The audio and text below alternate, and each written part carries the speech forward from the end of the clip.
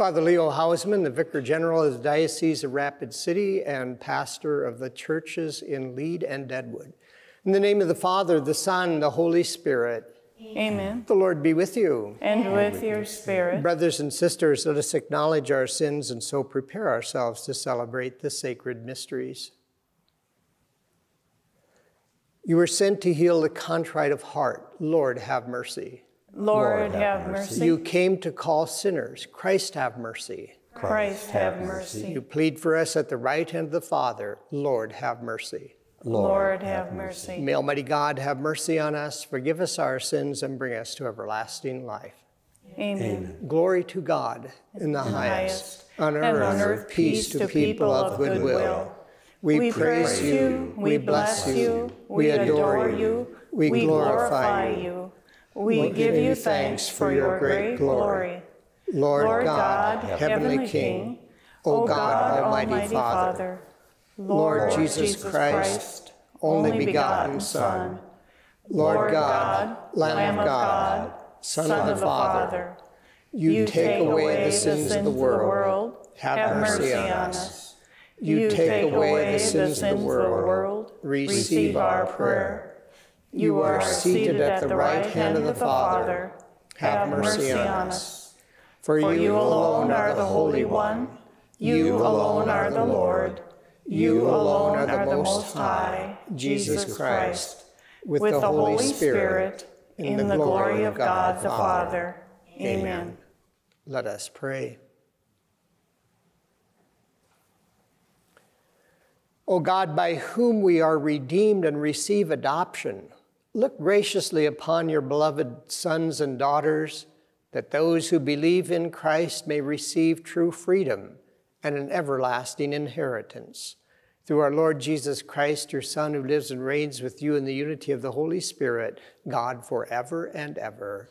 Amen. A reading from the book of the prophet Ezekiel. Thus says the Lord You, Son of Man, I have appointed watchmen for the house of Israel. When you hear me say anything, you shall warn them for me. If I tell the wicked, O wicked one, you shall surely die, and you do not speak out to dissuade the wicked from his way, the wicked shall die for his guilt, but I will hold you responsible for his death. But if you warn the wicked, trying to turn him from his way, and he refuses to turn from his way, he shall die for his guilt, but you shall save yourself. The word of the Lord. Thanks be to Thanks God. be to God. If today you hear his voice, harden not your hearts. If today you hear his voice, harden not your hearts. Come, let us sing joyfully to the Lord. Let us acclaim the rock of our salvation. Let us come into his presence with thanksgiving. Let us joyfully sing psalms to him. If today you hear his voice, harden not your hearts. Come, let us bow down and worship. Let us kneel before the Lord who made us, for he is our God, and we are the people he shepherds, the flock he guides. If today you hear his voice, harden not your hearts. Oh, that today you would hear his voice. Harden not your heart as at Meribah, as in the day of Massah in the desert, where your fathers tempted me. They tested me, though they had seen my works. If If today today you hear his voice, harden not your hearts. A reading from the letter of St. Paul to the Romans. Brothers and sisters, owe nothing to anyone except to love one another. For the one who loves another has fulfilled the law. The commandments you shall not commit adultery, You shall not kill, you shall not steal, you shall not covet, and whatever other commandment there may be are summed up in this saying, namely, you shall love your neighbor as yourself. Love does no evil to the neighbor. Hence, love is the fulfillment of the law. The word of the Lord. Thanks, Thanks be, to, God.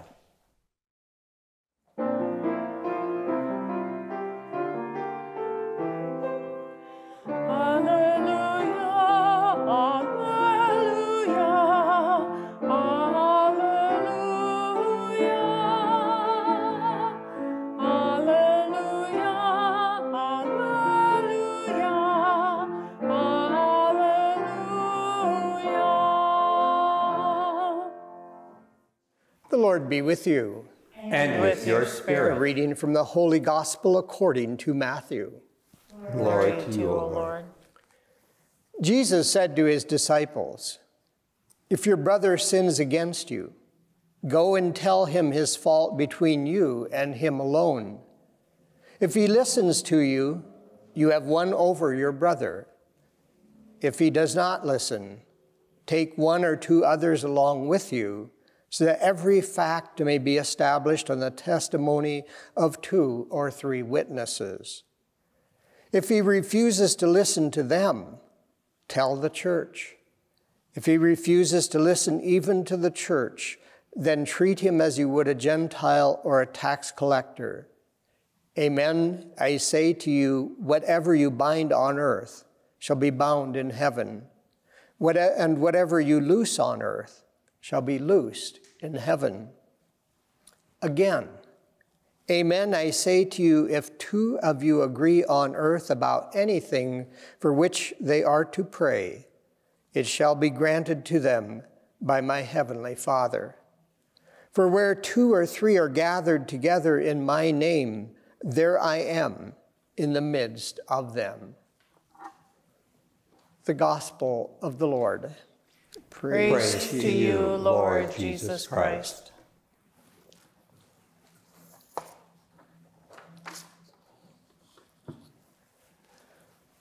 A common theme that runs through the first reading of the prophet Ezekiel and the gospel is fraternal correction of our brothers and sisters in the Lord. The New Testament reading from the letter of St. Paul to the Romans reminds us that Love is the foundation upon which is built all of God's commandments and God's law. Of course, this foundation of love is the basis, as the basis of God's law and commandments, would include correction of our brothers and sisters when appropriate and needed. In today's first reading, the Lord God defines the role of an Old Testament prophet Ezekiel. Approximately 600 years before the birth of Christ, the powerful Babylonians invaded the tiny country of Judah, where the Jews lived, and their capital city, Jerusalem. The Babylonian king, Nebuchadnezzar, took Ezekiel and many other Jews to Babylon in 597 BC. Yahweh, the God of the Jews, addressed Ezekiel, who is now living with many of his fellow countrymen in slavery in Babylon, saying, You, Son of Man, I have appointed you watchman for the house of Israel. When you hear me say anything, you shall warn them for me. Like a watchman, the prophet exists only for the good of others in this case, those deported with him to Babylon. He is to give them God's word, to challenge them, and to correct them from time to time so that if they, if they should go wrong, the responsibility would be theirs. Here, Ezekiel gets straightforward orders from Yahweh, assigning responsibility to him with no ifs or ands or buts tolerated. But God charges Ezekiel with the responsibility of remaining faithful to his prophetic mission, confronting the wicked with their own wickedness, as the Lord God instructs him. If Ezekiel should refrain from speaking God's word intended to convert the wicked, God will hold Ezekiel responsible for the spiritual death of the wicked. In today's gospel, Jesus calls the church to the same responsibility for confronting the sinful. As Ezekiel is appointed watchman over the house of Israel in today's first reading, so Jesus in the gospel establishes his disciples as guardians of the new Israel of God, the church. Oftentimes, people don't take responsibility for what happens in the society. But the truth is that, that we bear some responsibility for our society. As Christians, we are all God's prophets, God's representatives, God's watchmen, set on elevated places to give warning of approaching danger to our brothers and sisters. The prophets of all times have a grave responsibility for their people's salvation. None of us can retire from the task of being watchmen. This would include speaking out against laws and policies in government that violate human dignity according to how God created us, and violation of God given human rights, including the right to life from conception to natural death. But all of this has to be done in the context of love. As the letter of St. Paul to the Romans stated, love does no evil to the neighbor. In a little church in a small village, an altar boy serving the priest at Sunday Mass accidentally dropped the cruet of wine. The village priest struck the altar boy sharply on the tree, cheek and in a gruff voice shouted, Leave the altar and don't come back. That boy became Tito, the communist leader. In the cathedral of a large city in another place, another altar boy serving the bishop at Sunday Mass also accidentally dropped the cruet of wine. With a warm twinkle in his eyes, the bishop gently whispered, Someday you will be a priest. That boy was Venerable Archbishop Fulton Sheen. Though the altar boys in those stories may have been careless or not, how we react and treat people is as important as whether we do or do not live up to our obligation of fraternal correction. Correction must always be done with loving concern for the one being corrected. And finally, I would add that prayer and discernment, guided by the Holy Spirit, are most essential. The prophet Ezekiel was guided by the Holy Spirit to where God wanted him to speak out and what God wanted him to say. We need to do that same discernment. If we speak and act where we are not directed by God, we can do more harm than good. And if when we speak needs to if and when we speak needs to be guided by the Holy Spirit, otherwise we are not a true prophet or a watchman.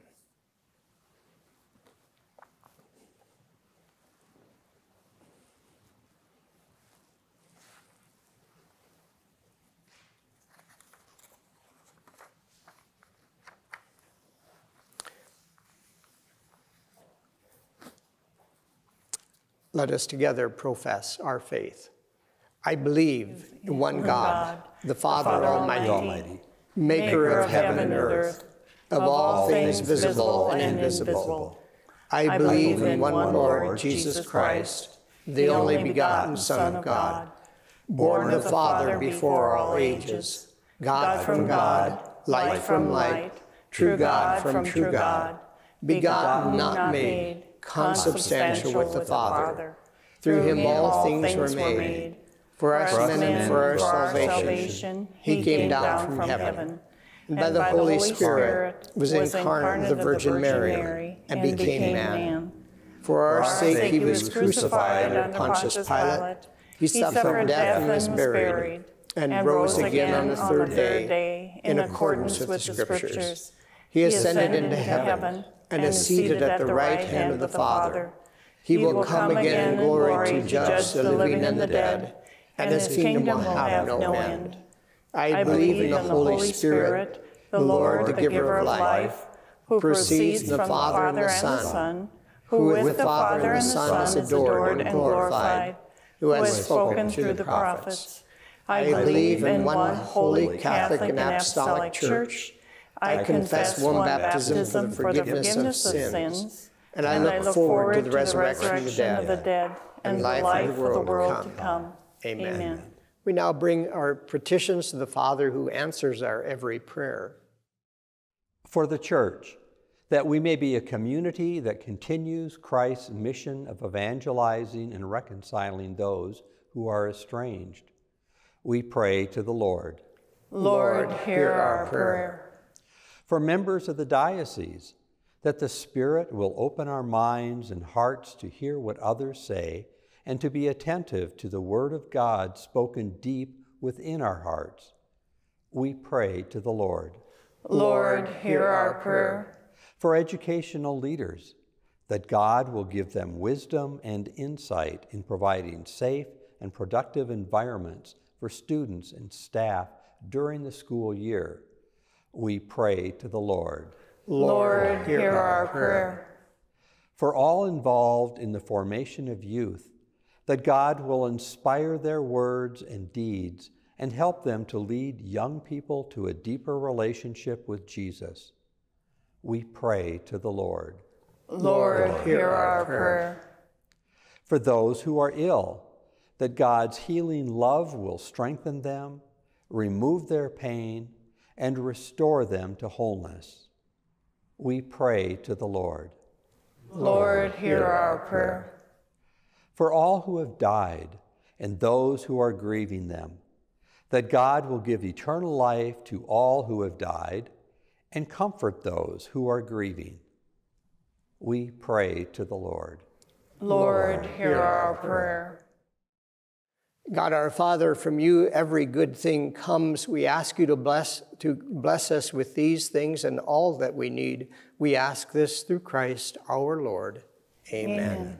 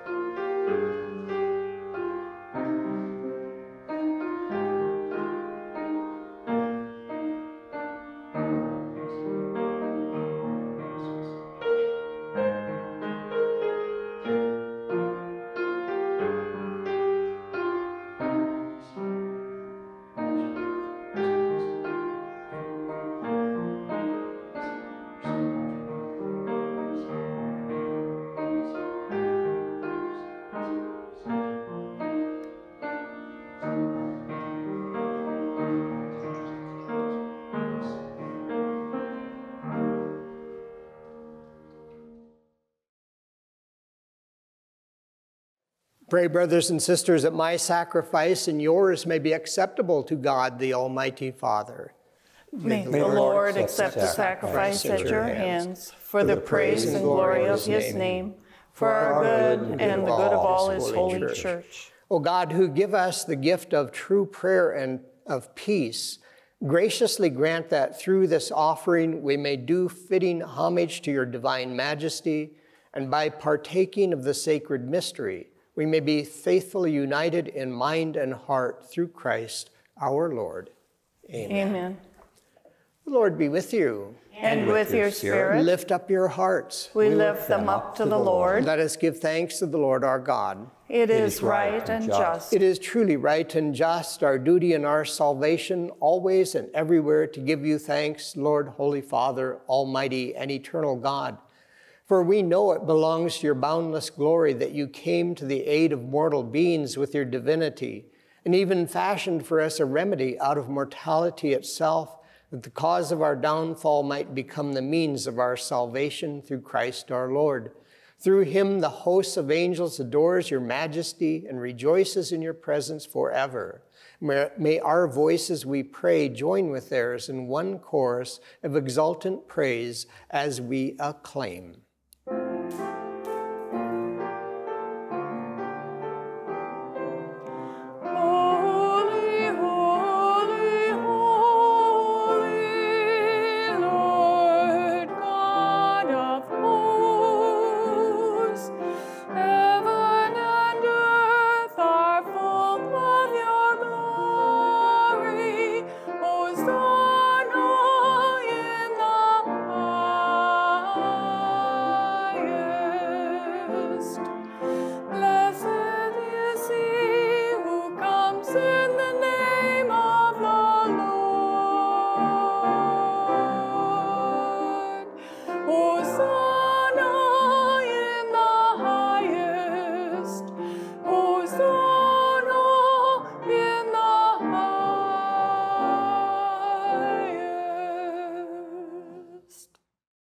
You are indeed holy, O Lord, the fount of all holiness. Make holy, therefore, these gifts, we pray, by sending down your Spirit upon them like the dewfall, so that they may become for us the body and blood of our Lord Jesus Christ. At the time he was betrayed and entered willingly into his passion, he took bread and giving thanks, broke it and gave it to his disciples, saying, Take this, all of you, and eat of it.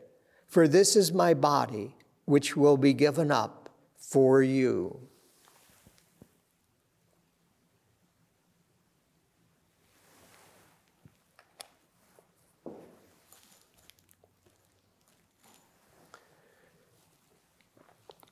In a similar way, when supper was ended, he took the chalice and once more giving thanks, he gave it to his disciples, saying, Take this, all of you, and drink from it. For this is the chalice of my blood, the blood of the new and eternal covenant, which will be poured out for you and for many for the forgiveness of sins. Do this in memory of me.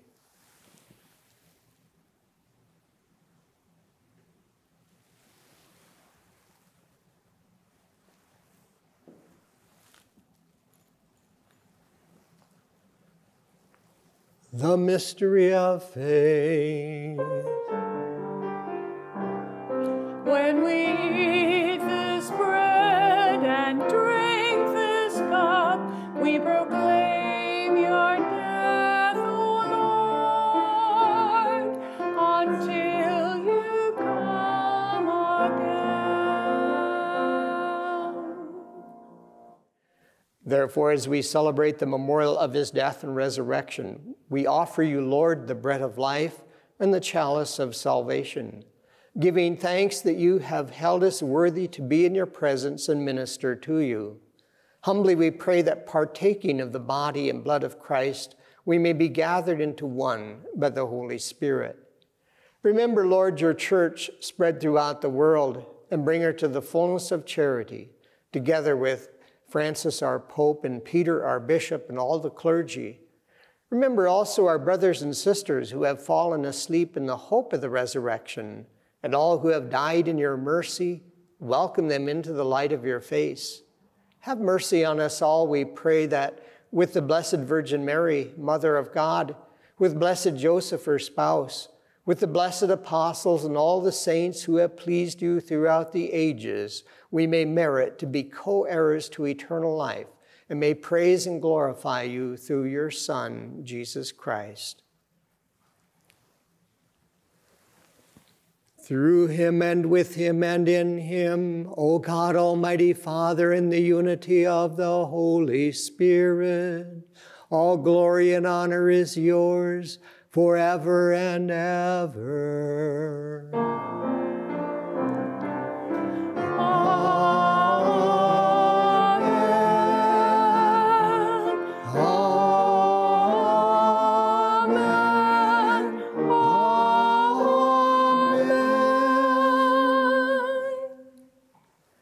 The Savior's command, informed by divine teaching, we dare to say, Our Father, Our Father, who art in heaven, hallowed be thy name. Thy kingdom come, thy will be done, on earth as it is in heaven. Give us this day our daily bread, and forgive us our trespasses, as we forgive those who trespass against us. And lead us not into temptation, but deliver us from evil. Deliver us, Lord, we pray, from every evil. Graciously grant peace in our days, that by the help of your mercy we may be always free from sin and safe from all distress as we await the blessed hope and the coming of our Savior, Jesus Christ. For the kingdom, For the, kingdom, the power, and the glory are yours now and forever. Lord Jesus Christ, who said to your apostles, My peace I leave you Look not on our sins, but on the faith of your church, and graciously grant her peace and unity in accordance with your will, who live and reign forever and ever. Amen. The peace of the Lord be with you always. And, and with, with, your, your spirit. spirit. Let us offer each other a sign of peace. Lamb of God, you, you take, take, away the sins, of the world. world. Have, mercy, on us. us. Lamb, Lamb of God, God you take away the sins of the world. Have mercy on us. Lamb of God, you take away the sins of the world. Grant us peace.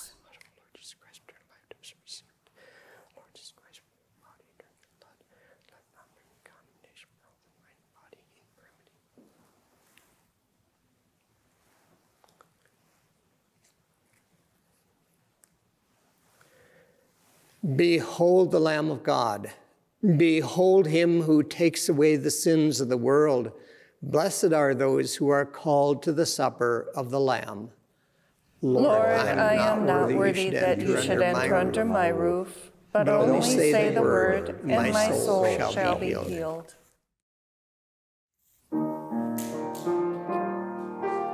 I am the light of the world, says the Lord. Whoever follows me will not walk in darkness, but will have the light of life. My Jesus, I believe that you are present in the most holy sacrament. I love you above all things, and I desire to receive you into my soul. Since I cannot at this moment receive you sacramentally, come at least spiritually into my heart I embrace you as if you were already there and unite myself wholly to you. Never permit me to be separated from you. Amen.